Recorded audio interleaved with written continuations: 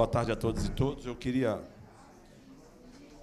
iniciar aqui, vou abrir é, para que um possa falar antes de nós, nós enfrentarmos o veto, eu vou ter uma, um encaminhamento e vou deixar o doutor Serginho falar e o doutor Luiz Paulo.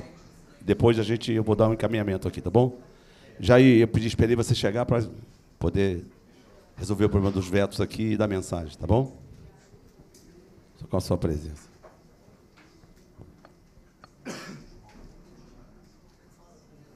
Doutor Serginho, você, vocês estão obstruindo a pauta. É? Você é o líder do PL e está obstruindo a pauta. Então você faz o encaminhamento, o Luiz Paulo fala, depois eu. Quer dizer, você faz a colocação e depois vou tentar o encaminhamento. Presidente, boa tarde. Deputado Luiz Paulo falou comigo que tinha. que teve uma conversa hoje, o líder do governo, o deputado Luiz Paulo, e o senhor, e ele falou comigo que faria um encaminhamento em cima é, de uma ponderação de análise do STF. Por isso que eu estou pedindo para que ele fizesse a ponderação antes, para posteriormente a gente discutir. Você vai falar, ele vai falar e eu vou dar um encaminhamento para a gente resolver. Eu quero resolver. Certo. Tá? Então, eu só isso... queria entender qual é a posição dele para não, tá não falar.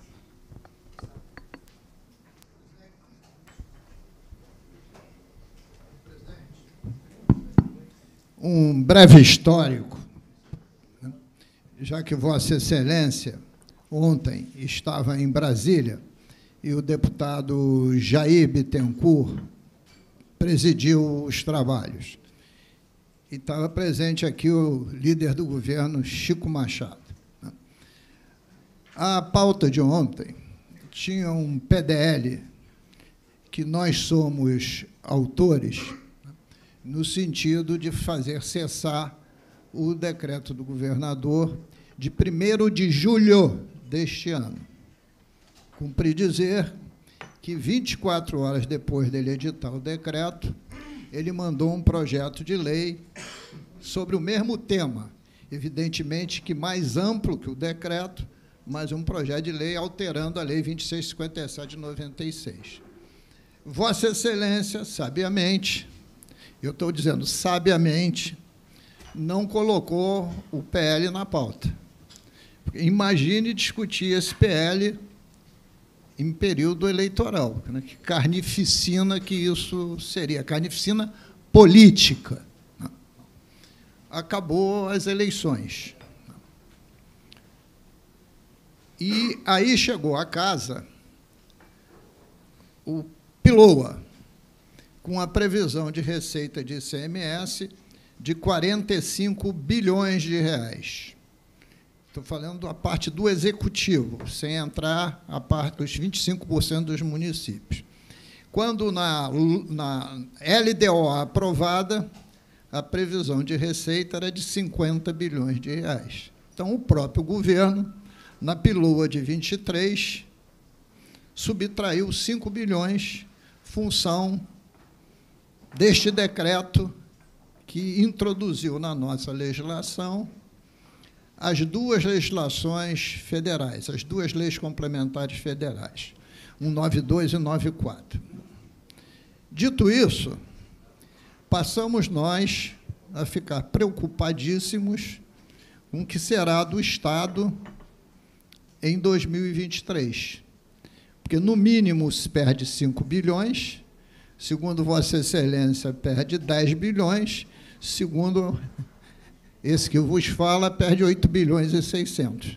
Qualquer que seja o número, é uma tragédia, quer seja para a saúde, quer seja para a educação, quer seja para o servidor público, visto que temos que o ano que vem pagar a segunda parcela da reposição salarial, que só está prevista no projeto do executivo, do orçamentário. Não está em outros poderes. Dito isso, conversei com Vossa Excelência, Vossa Excelência conversou comigo, tínhamos que elevar essa temperatura para ver se saía algum resultado mais positivo para o nosso Estado. Visto que tem ações diretas de inconstitucionalidade do Supremo e está na mão do, do ministro Gilmar Mendes, que tem feito reuniões com os secretários de Fazenda do Brasil para ver se constrói um consenso para mitigar todas as contradições. Até porque só tem previsão nas leis complementares da União cobrir os rombos dos estados só no ano de 22. E, assim mesmo, somente aquilo que ultrapassar a perda maior do que 5%. Isto é, se o Estado do Rio de Janeiro perder 10%, ele só pode recuperar 5%. O resto foi-se. E não vou entrar aqui no mérito de, de último trimestre, que a Petrobras vai distribuir dividendos de 54 bilhões, etc., e a União vai levar 16 bilhões dos 54, porque é acionista majoritário. Né? Bom, então achamos que, pautando, a gente ia abrir uma grande discussão sobre esse tema e que todos nós estaríamos do mesmo lado, isto é, do lado de proteger as finanças públicas da responsabilidade fiscal. E o que assistimos no dia de hoje não foi isso. De ontem não foi isso. Eu mesmo, antes de ter o plenário, eu já tinha dito a Vossa Excelência que quando o PDL viesse à pauta no dia de hoje, eu mesmo iria emendá-lo para sair de pauta. E emendei porque, na verdade, a gente queria puxar o tema para uma ampla discussão. Né? Senão, eu não estaria emendando meu próprio PDL. Não, não. Dito isso, a liderança do PL, doutor Serginho, ontem, pediu ao presidente Jair Bittencourt obstrução de pauta, visto que tem mais de 30 vetos não votados e todos terão que ser votados, porque não há mais pra, como postergar é, a votação de veto. Ou derruba ou não derruba, mas tem que votar. Até porque eu sei que Vossa Excelência não gostaria de deixar a presidência da Casa com veto de pendurada.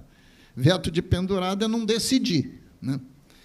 E é na vida, a gente tem que decidir, sim ou não. Bom, dito isso, o que, que eu queria aqui propor a Vossa Excelência?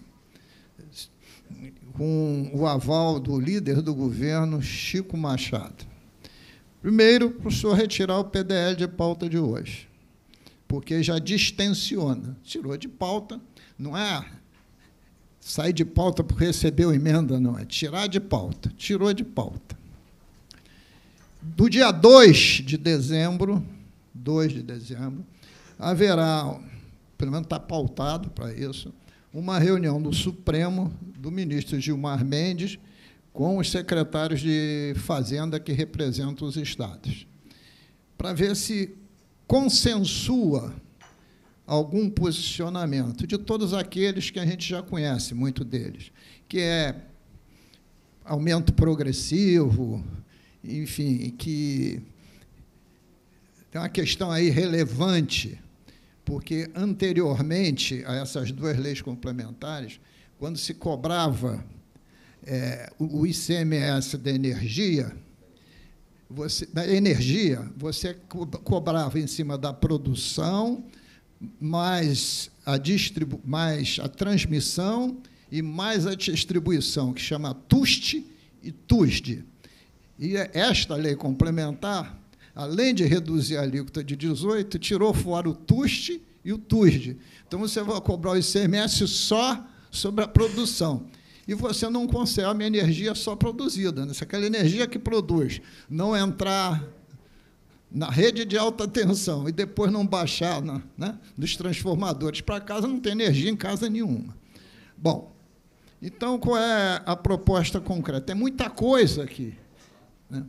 E até se se alterou lei Candir para mexer nessas coisas. Então, a chance dessas leis complementares serem inconstitucionais são bastante grandes. Então, é, é, a proposta que estou fazendo concretamente, um, retirar de pauta. Bom. Dois, retornar à pauta, não o PDL, retornar à pauta, pauta o projeto, o projeto de do governador. Logo, de, logo depois da reunião de 2 de dezembro. Fui claro na proposta? Então, essa é a proposta que faço a Vossa Excelência. Um, retirar de pauta, não voltará mais, voltará o projeto de lei do governador e depois do dia 2 de dezembro. Muito obrigado, presidente. Deputado doutor Serginho. Boa tarde, senhor presidente. Boa tarde a todos os colegas, colegas aqui presentes. presentes. É, colega, é, Luiz, Paulo, Luiz Paulo, acho que, acho sua, sua, sua, proposta, proposta é bem é razoável. Bem razoável. E, e externo, externo aqui, presidente, presidente, o porquê da minha preocupação com, com todo respeito às razões da apresentação do, do PDL de Vossa Excelência, do deputado Luiz Paulo, apesar de não concordar no mérito, uma vez que a gente trata aqui da possibilidade, faltando um mês e meio para acabar o exercício financeiro, da gente modificar a tributação do combustível diretamente na cadeia produtiva e no consumidor, daquele, daquele que, que, consome a gasolina. A gente sabe os reflexos disso é, de maneira imediata se há aprovação desse PDL em que pese todas as razões apresentadas no que se refere ao respeito às receitas do Estado. O governador, quando apresentou o decreto, o apresentou respaldado na Lei Complementar 194 de 22, que trata de normas gerais tributárias. E aí, dentro da competência prevista, prevista na nossa na... Constituição da República, cabe à União legislar sobre normas gerais e a nós, Estado, dentro de uma competência concorrente, legislar dentro daquilo que a norma geral estabeleceu. Norma geral federal que se encontra em vigor nesse momento, ela diz que os serviços, bens e serviços essenciais terão alíquota máxima de 18%, de maneira que o Estado do Rio de Janeiro, sob hipótese, poderia descumprir a norma geral de direito tributário aplicada, aplicada pela União, pelo Congresso Nacional. A gente, inclusive, é, com a aprovação de um PDL como esse, poderíamos incidir, inclusive, na hipótese de não existir norma a ser aplicada na incidência do combustível. Uma vez que a norma geral que confronta a norma anterior do Estado em conflito não permitiria que nós aplicássemos algo acima dos 18%. Então, observem a instabilidade jurídica, a insegurança jurídica que se leva não só para uma população que de um dia para o outro pode, pode se ver, se deparar com aumento abrupto do combustível, de toda a cadeia produtiva, que pode se deparar com aumento abrupto da cadeia produtiva, em que pese toda a preocupação com o erário, com a receita do Estado, faltando exatamente um, um mês e meio para o fim do exercício financeiro, eu acho que nós não deveríamos fazer isso dessa maneira. E a ponderação do deputado Luiz Paulo, a gente sabe que a matéria, daqui a pouco, vai ser avaliada pelo STF. O STF vai definir, a partir do dia 2, se a matéria é constitucional ou inconstitucional. Inclusive no que se refere à lei complementar, que trata da mesma matéria, se não me engano, a Lei 192, a decisão monocrática do STF, da lavra do ministro André Mendonça, assegurando a sua constitucionalidade. Então, acho que seria uma, me perdoe a palavra, uma temeridade a possibilidade da gente colocar esse PDL nesse momento por conta de suas consequências.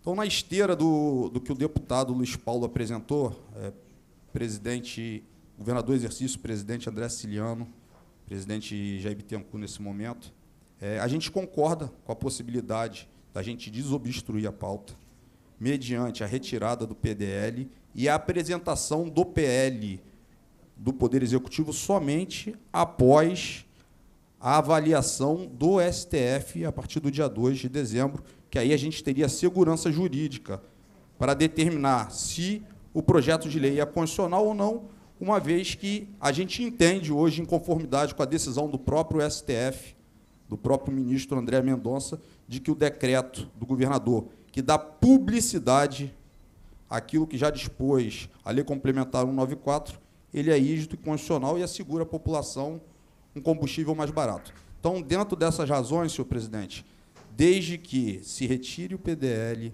e que a apresentação em pauta do projeto de lei se dê posteriormente à avaliação do, da avaliação do STF da matéria, a gente concorda com a retirada da obstrução. No caso contrário, a gente mantém, é, manteria a obstrução. Obviamente, ouvindo as ponderações de Vossa Excelência, a quem a gente tem autoestima e apreço. Bem, primeiro, dizer que quem me procurou durante os últimos 60 dias em relação aos vetos, eu sempre coloquei que a partir da segunda quinzena de novembro nós íamos enfrentar o veto. Então, muitas vezes eu disse isso, inclusive publicamente. Então, nós vamos enfrentar os vetos na próxima terça-feira. O primeiro encaminhamento é esse. Vamos fazer uma reunião do Colégio de Líderes de meio-dia até as três horas. Se a gente conseguir avançar nas pautas, nós vamos fazer. Em relação ao PDL, eu vou tirar de pauta. E, na próxima terça-feira, a mensagem que ganhou o número de 6172 estará na pauta, que é a mensagem do governador. Se Vossa Excelência já falou, eu vou falar, depois eu volto a palavra para Vossa Excelência. parte. Depois. É importante na ponderação. Depois, depois. É, em relação à lei complementar, se ela é constitucional ou não, pouco importa ao meu ver. O que, o que importa é o Estado do Rio de Janeiro está perdendo quase um bilhão de reais por mês. Foi assim no mês de outubro, comparado com outubro de 21, e não está diferente em novembro. Mas aí, como eu sempre faço, com algumas matérias que eu ponho na pauta, a gente recebe a emenda, a gente tira de pauta e reúne, faz audiências públicas e faz colégio de líderes. Ok? Então, então é, o meu encaminhamento. Eu vou retirar, vou pedir ao, ao presidente exercício para retirar o PDL e a mensagem que fixe em 18% a alíquota de combustível virá a pauta de terça. Receberá emendas, a gente tira e vamos discutir se vamos fazer audiências públicas ou se não. Logicamente, uma vez. Está falando aí, Chico? Logicamente, é, enfrentado os vetos. Então, nós vamos trazer os vetos vencidos na próxima terça-feira.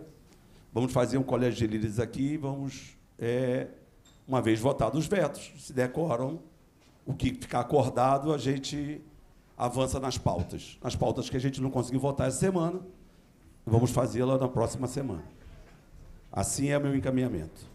Agora, em relação a dizer que o decreto é condicional, o decreto é incondicional e o governador incorre em crime de responsabilidade. Isso é muito claro. Isso é claríssimo. Tanto é claro que ele encaminha imediatamente uma mensagem para casa. Tá certo? Então, em relação ao STF, a gente já já se acostumou. Nós temos a Lei Candir. O Estado é credor de mais de 70 bilhões de reais do governo federal. Nem em conto de conta a gente consegue. O fato é, eu tenho sido procurado por muitos prefeitos e prefeitas com a preocupação da arrecadação.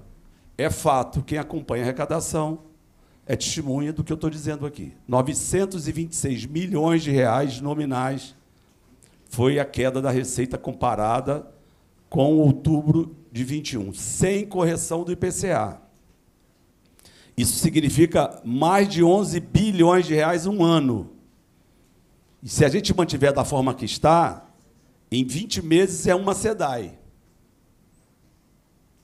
Em 20 meses é uma SEDAI. A receita está maior de janeiro a outubro, em torno de 8,8 bilhões de reais. Mas esse aumento, esse incremento de receita se dá quase 9,6 bilhões de royalties, 2,9 bi de SEDAI e uma transferência de 2 bi. Então, 14 bilhões e meio. Se você abater os 8,8, você já vai ter um déficit. Sabemos nós que recurso dos royalties não se pode pagar folha. Sabemos nós que recurso da SEDAI não se vai acontecer de novo. Transferências poderão vir ou não. Então, há de ter responsabilidade, principalmente com os municípios. Porque se o compromisso de campanha do presidente eleito de reduzir, de zerar o imposto de renda até para quem ganha até 5 mil reais, e nós sabemos que esses recursos ficam no Estado e no município, quando são descontados dos servidores, mais uma receita que pode passar de 100 Som. bilhões de reais. Então, é, de novo, está na pauta não significa que a gente ia votar, porque a gente mesmo tinha combinado de fazer emendas. E, e, assim a gente tem feito. A gente nunca faz nada aqui sem discutir. Todas as matérias, quando alguém pede audiência pública ou reunião, a gente faz. Em nenhum momento, até o dia de hoje, não foi diferente disso. Amanhã poderá acontecer diferente, mas até o dia de hoje, sempre foi dessa forma que a gente encaminhou.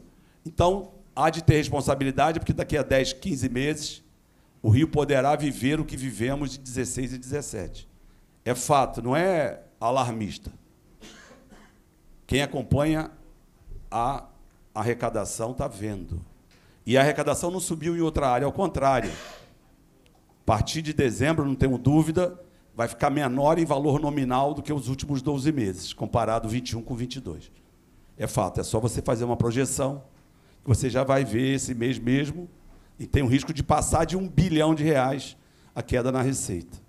E ela se dá muito por conta da energia, como falou o Luiz Paulo aqui. A conta da energia, ela, o ICMS, Max, era sobre a distribuição, o transporte e a própria energia.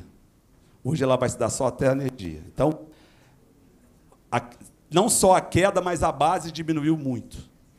E o combustível, que se forçou dizer que gasolina é produto, é produto essencial, só se for para a classe média e classe alta, porque para o cidadão que precisa lá da saúde no município, da educação no município, ele já vai sofrer. Então é um interesse coletivo acima do interesse individual. Mas aqui eu sempre fui, espero até o dia 30 de janeiro, de ser 30 de janeiro, espero ser aqui a pessoa que vai sempre mediar e tentar encaminhar o que a maioria pensa. Mas é fato que, se a gente não trouxer essa discussão, pode não acontecer ainda em 2022 a solução, porque uma coisa é a reunião que vai acontecer no dia 2 é, de dezembro. Mas o fato é, segundo estimativa é, de alguns economistas, essa perda de receita vai passar de 125 bilhões de reais com essa redução, que foi um, uma quebra de pacto federativo o que, o que foi feito para ganhar a eleição, quebraram o pacto federativo. Isso é fato. Dizer que eu não concordo que também o ICMS seja 32, 34, 30. Eu não concordo com isso. Mas unilateralmente, se o, se o Estado não puder legislar sobre o ICMS, tem que fechar o Estado, entregar para a União. Então, o encaminhamento que eu estou dando é retira o PDL, vamos é, fazer a pauta da próxima semana com os vetos vencidos na ordinária, na terça-feira. Vamos fazer outras extraordinárias terça, vamos fazer quarta e quinta. Tem, o jogo já é na próxima semana, não? Então, quando acontecer o jogo, nós vamos fazer de 10 a meio-dia aqui as sessões. Então, caminhamento é esse. Independente, respeito a posição do líder, que não me ligou nem para consultar, mas fez obstrução, é direito de cada deputado aqui exigir que se cumpra o regimento. E, os, os, vetos, toda vez a gente negocia veto. Tem um veto aí que é já de dois, três anos, que são do Previ Banerj. Mas a gente vai enfrentar os vetos na próxima terça-feira e a gente espera ter quórum para derrubar ou para manter o veto. Vamos enfrentá-los na próxima semana. Deputado doutor Serginho. Presidente, o que eu queria ponderar com Vossa Excelência, e vou pegar também algumas partes da sua fala. Primeiro, é no que se refere a, a forçar a inclusão do combustível como serviço essencial. Quem definiu isso foi o Parlamento Nacional. Não foi uma canetada, foi o Parlamento quem definiu isso. É, quem definiu a regra de como se estipula as normas gerais tributárias foi a Constituição da República, que definiu que lei complementar federal vai definir os limites das alíquotas do ICMS. Então, não se desrespeitou o Pacto Federativo também. É, de uma maneira bem razoável, presidente, o que eu quero pedir a Vossa Excelência é que é, esse PL só volte a partir do dia 2. Esse é o pedido que eu faço razoavelmente a Vossa Excelência, E, dentro da ponderação que Vossa Excelência fez em, em relação à obstrução apresentada, Vossa Excelência também não discutiu com nenhum líder a inclusão do PDL, que é uma matéria muito sensível para todo o Estado do Rio de Janeiro. Peço desculpa a Vossa Excelência por não ter ligado. Tá? É, na próxima, assim o farei, ainda que seja para comunicar ou tentar acordar. Mas o que eu peço razoavelmente para que a gente chegue ao acordo aqui é que a propositura da mensagem, a apresentação em pauta, se dê a partir do dia 2. Faltam menos de 15 dias. É isso que eu peço. Deputado Rodrigo Amorim. Presidente, é na mesma linha do deputado Serginho. Presidente, Vossa Excelência falou em sua, em sua fala seu poder conciliador e, e que é fato, né? a gente presenciou isso ao longo desse, dessa legislatura sob a sua presidência. Esse mesmo, esse mesmo poder conciliador e, e, e, a cautela de sempre, eu tenho convicção que é o impede de arrobos de poder, de, por exemplo, estar no exercício é, do governo do Estado e não definir a questão numa canetada que poderia fazê-lo hoje, nessa tarde.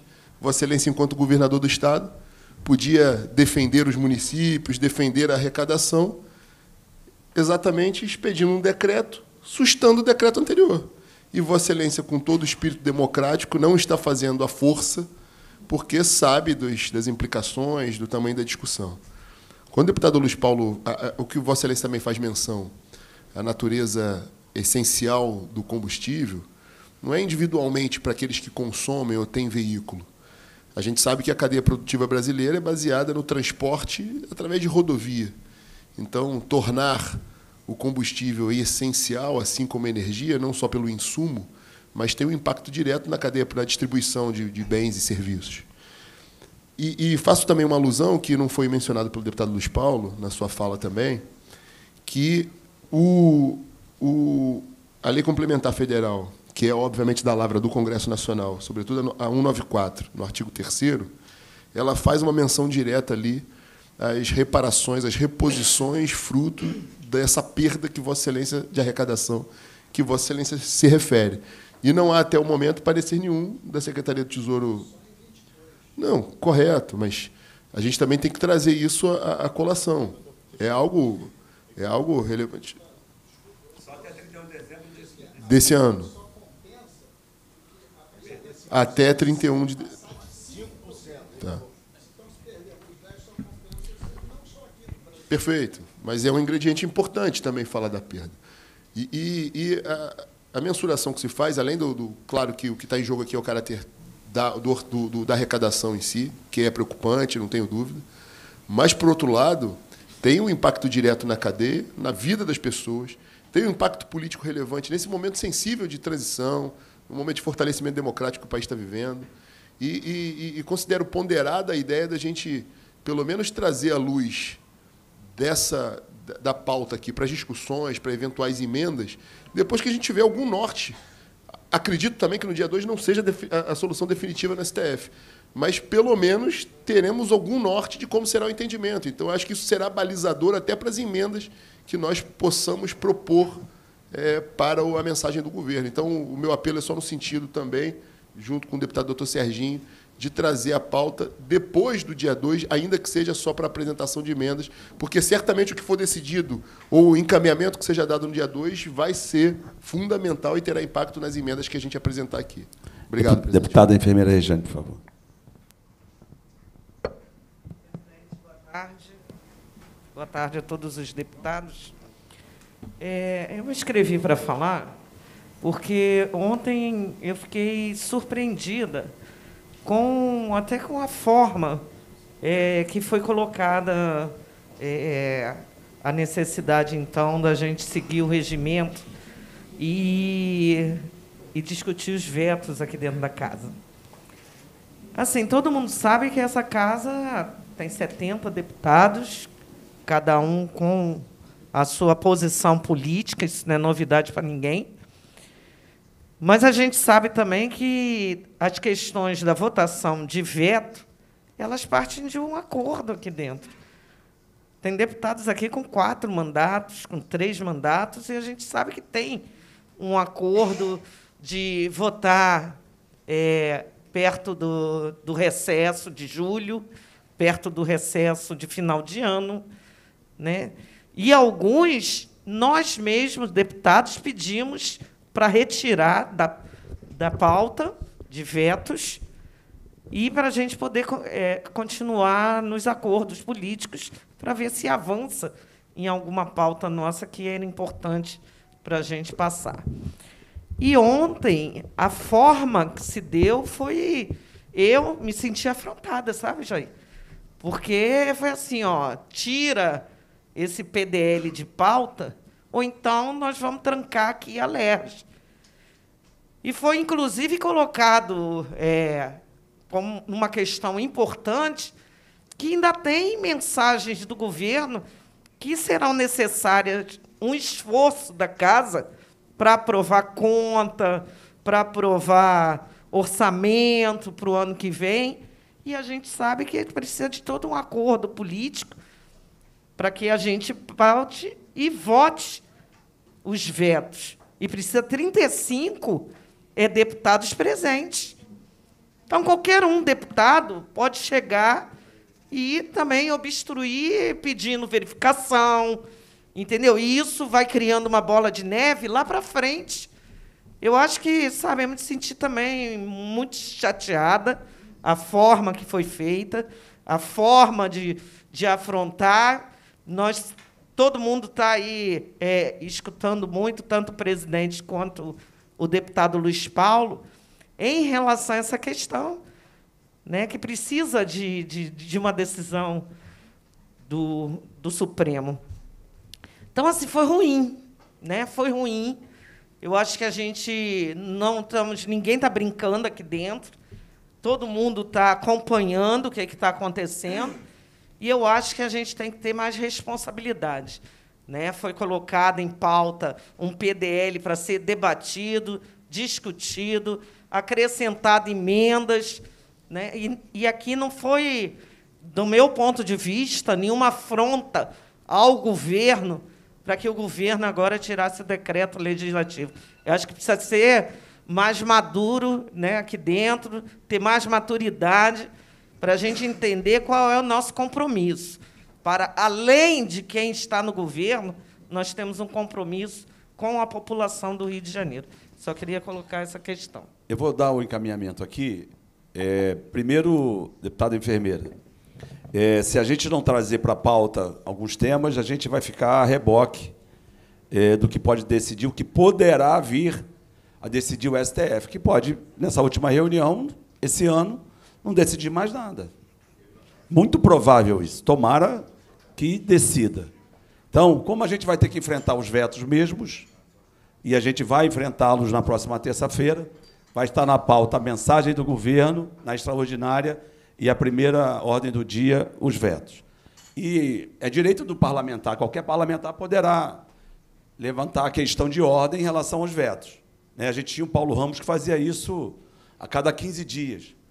Né? Mas a gente aqui é uma casa, como disse mesmo a enfermeira, tem alguns temas que a gente quer avançar, tem um momento de você negociar. Um momento do veto, às vezes, você pode vai perder o veto e tem uma sensibilidade no futuro. Então, nós vamos seguir a nossa, a nossa caminhada. Então, vamos ter os vetos e depois a mensagem do governo e as pautas. Se não tiver coro, paciência, que é o parlamento. Tem que ter responsabilidade. E mais, eu, quando trago essa questão para votar, é, eu faço a pauta, eu não consulto os deputados da pauta. Muitas das vezes, ao contrário, os deputados pedem para eu, para eu incluir pauta, e 99% das vezes eu incluo. Não 100%, porque tem algumas matérias que não dá para a gente avançar, como acabar com a cota racial, como. É, é, é, como é que é? Não, não é fechar o ERG, é privatizar. Então, mas eu respeito, cada parlamentar tem autonomia, pode fazer né? Então, desse jeito, eu agradeço as palavras do Amorim, do, do Serginho, mas a gente precisa enfrentar, porque se a gente não fizer isso, a gente não vai ter decisão no início de dezembro. E mais, eu, aqui é muita responsabilidade, pelo menos da minha parte. Não estou dizendo que aqui não tem quem tenha responsabilidade, ao contrário. essa questão é fato. Quem conviveu aqui 16, 17 sabe o que eu estou dizendo. Foi, é tiro, porrada e bomba, salário quatro meses atrasados, contas bloqueadas, né? E o que, tá, o que aconteceu da assinatura do regime foi depois de duas liminares, três liminares e, e mediação do STF, porque senão, se dependesse do seu Paulo Guedes, não teríamos regime nenhum. Isso é fato. Agora, não pode é você não poder contratar 13 professores de uma universidade e você pode perder 11 bilhões de reais porque o Congresso decidiu. É verdade, o Congresso decidiu, mas decidiu também retirar os nossos royalties, que nós estamos por eliminar até hoje. É verdade. Mas a gente sabe, quem conhece a Constituição, quem estuda, sabe que essa maneira que foi feita, essa redução, foi uma quebra de pacto federativo. Não se levou em consideração queda da receita dos municípios, porque quem sofre mais é quem está na ponta. Então, eu respeito a opinião de cada um, como sempre faço e fiz até o dia de hoje, mas a gente vai seguir a nossa vida. Então, retiro hoje o PDL. Se o PL continuar, o Partido Liberal continuar obstrução, a gente vai tentar votar, porque não tem acordo, não vai ter quórum. Não tenho dúvida disso. E aí, na próxima semana, a gente enfrenta. Então, não dá para enfrentar os vetos, porque a gente vai precisar ter, no mínimo, três horas para que a gente possa se ater à pauta dos vetos. Então, esse é meu encaminhamento. Daqui a pouco o Jair vai à pauta, vai para plenário. Daqui a pouco já passou. E eu respeito a posição de cada um, de cada partido, mas esse será o encaminhamento da próxima semana. Presidente, na próxima semana terá nova reunião do Colégio de Líderes? Não. Vamos ter, eu falei, anunciei aqui, de meio-dia às três, na terça-feira, das 12 às 15. Entendeu? Então, de novo, retiramos o PDL. Agora, essa discussão é urgente, porque esse dinheiro que deixa de arrecadar, isso vai fazer falta no futuro. E é fato. Eu não tenho dúvida que essa lei vai ser julgada inconstitucional, porque não pode. Você não pode. Senão você tem 25 unidades na federação, acontece o que aconteceu no Joites. Junta. Tem três estados, grandes estados produtores de petróleo. Junta 24 unidades, tira o direito dos três. Isso também tem garantias.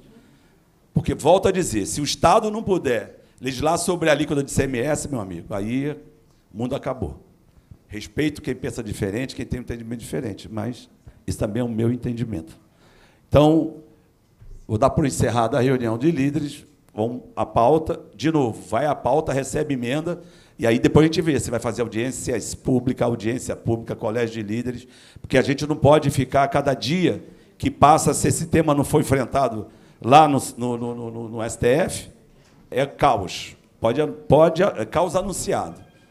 Aqui tem que ter responsabilidade e até o momento a gente tudo que fez foi assim, conversado, discutido, e isso é para o bem dos municípios, porque eu não sei se vocês sabem que tem uma decisão judicial para incluir o Rio de Janeiro na partilha do Fundeb. Isso vai retirar mais de 244 milhões de reais, no mínimo, de outros municípios. Fora, eu falo que é mais de 10 bi, Luiz, porque se nós compararmos o mês de outubro, passa de 11. E aí, 25% da, dos recursos para a educação, já perdemos aí 2,5 bi, no mínimo, para os municípios. Me permite uma parte técnica? Sim. Essa lei federal, ela, é, ela é, auto é de autoexecutoriedade, concorda? Não, porque quando você fixa o ICMS no Estado é por lei, você não pode fazer um decreto. Esse é, decreto é incondicional. O decreto de 1 de julho é incondicional. Porque você não pode legislar se, se é lei que fixa. Não, mas não, não obstante ao decreto, quando, quando a lei federal estipula o regramento que está sendo objeto do STF, qualquer discussão que a gente faça aqui me parece inócua a princípio. Porque qualquer ente federativo, qualquer estado da federação vai seguir a norma federal. Tem que votar no plenário, tem que votar no parlamento. Depois que votar, aí sim. Luiz Paulo. Jari.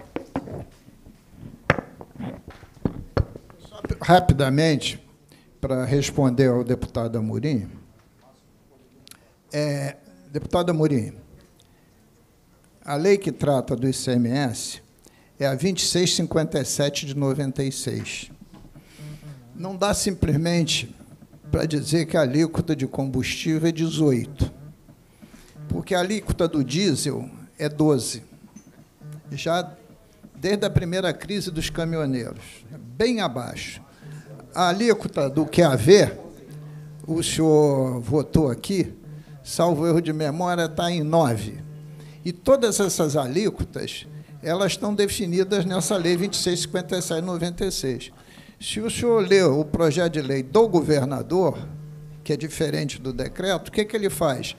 Ele vai alterando as, os incisos e artigos da 2657, que geralmente é artigo 14 e um monte de, de inciso. Então tem essa questão, não é não se autoexecuta porque você tem que dizer 18% em que produto. Né? Porque em outros produtos, por exemplo, volta a dizer, diesel que é a ver é menor que 18, não é 18, senão a gente estaria aumentando a alíquota de, desses produtos, o que seria um desastre. Porque diesel, eu concordo com Vossa Excelência, é bem essencial. Porque diesel, barca é diesel, transporte de carga é diesel, transporte de passageiro é diesel, e tem até termoelétrica diesel. Produção de alimentos, né? diesel. E, que, e o que há a ver é também transporte público de passageiro. Isso é uma questão. É que foi dito, foi esquecido, esqueceu de ser dito, que lá teve uma demanda em Santa Catarina, já decidido pelo ministro Barroso, né, que dizia respeito à energia e telecomunicações. Que ele, Barroso, considerou energia e telecomunicações só, que teve lá a decisão. E ele considerou que energia e telecomunicações eram bens essenciais.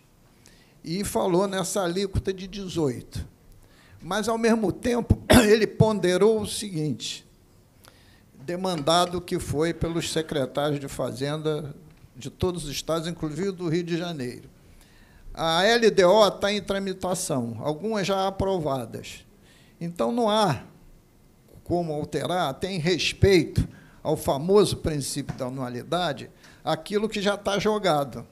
Então, essa questão que decidiu por que ele decidiu, decidiu para 24, para dar tempo da LDO de 23 se apropriar. Então, houve, do, por parte do Barroso, até uma, uma sabedoria nessa ponderação do que ele decidiu.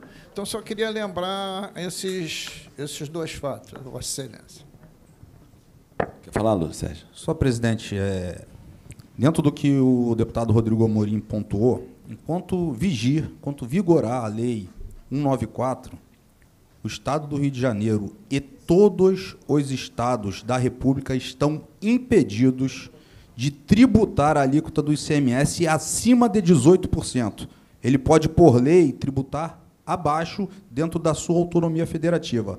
Mas a Constituição dispõe que, em normas gerais tributárias, cabe à União.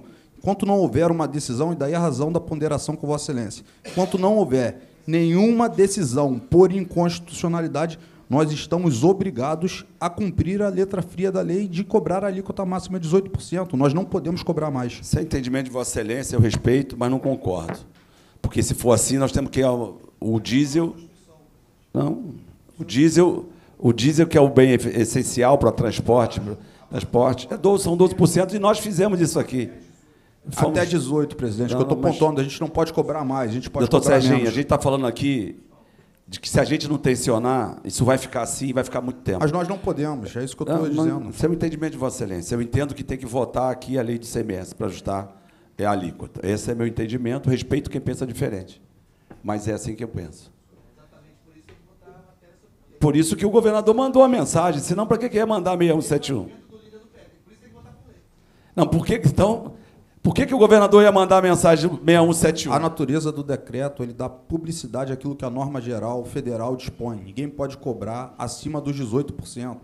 O Estado do Rio de Janeiro já está obrigado a cumprir a, cumprir a lei complementar o 94. Mas, doutor Sérgio, me permita, presidente... Doutor... Tem 22 questionamentos no STF dizendo. Não é isso, deputado Mas Luiz? enquanto não houver suspensão, presidente, não- a lei vigora. Questionando Doutor- se pode reduzir por decreto. Tem só 22. É, E, doutor Serginho, Reduzir não se 22. pode. Reduzir não se Presidente. pode. Por decreto, foi feito por decreto. Reduzir não. A gente manteve aquilo que a norma geral Não. dispôs. Presidente, mas é a exatamente redução por é que não se Só pode, tem só presidente. 22 questionamentos. Concordo. Só a tem- redução não só se tem pode. só 22 questionamentos no, no, no STF. A redução Mas é- abaixo Por dos conta 18% da redução- não, por conta da redução estaria afrontando a separação de poderes e respeito, a nossa prerrogativa. Serginho, respeito. Mas não concordo, só isso. É por- exatamente por isso que tem que disciplinar a matéria por lei. Não pode ultrapassar 18% enquanto essa lei complementar estiver em vigor, mas tem que disciplinar por lei. Pode ser 17, 16,5, 17,5, não pode ultrapassar 18. Mas tem que disciplinar a matéria, disciplinar a matéria por lei, que o ICMS do não Estado entendeu o disciplina que eu por lei. pontuei. Não entendi perfeitamente. Pra- É só Estou publicidade. Para discordando. pontuar ali que está abaixo dos 18 depende do parlamento. Para manter os 18 é uma obrigação do Estado do Rio de Janeiro enquanto a lei vigorar. É isso que eu estou dizendo. O decreto não Independentemente do disciplinou- decreto. Quem disciplinou foi a lei federal. O decreto só deu publicidade no Estado do Rio de Janeiro a aplicação. O decreto é inconstitucional e o governador incorre em crime de responsabilidade. Doutor Serginho, Vossa Excelência não está com a palavra. Se for assim, fecha o parlamento. Não, não, fala não, não, não, não, não, não, Vossa Excelência, você está querendo fazer debate aqui, não tem debate. Vossa Excelência Nós já fala estamos encerrando, não, não, nós estamos encerrando. Já estamos encerrando, está muito claro isso. Senão não precisava manter para cá. Vossa Excelência 6171. pontua isso, parece que a gente está tratando de um crime de responsabilidade. Não, mas é isso mesmo. Mas o Vossa Excelência decreto hoje, é, como governador, está tributando em cima disso. mas o Vossa Excelência está é- incorrendo também no crime de é- responsabilidade. O decreto é. O decreto, meu entendimento é. É claro que é, você não sabe. É só, é só você ler. É, é incondicional. É que, tanto é que veio a mensagem. Só isso. Então fica desse jeito. Nós vamos. Nós vamos para o plenário. É. Mas quem fez o decreto é que comete crime. Mas Vossa Excelência tá Serginho, por favor. Serginho, por favor. Por favor. Então vamos ao plenário. Se o PL mantiver a obstrução, está mantida e vai se votar, se tiver quórum. Do contrário, a próxima semana a gente enfrenta na reunião do Colégio de Líder, meio-dia às três horas. É a pauta. Está encerrada a reunião.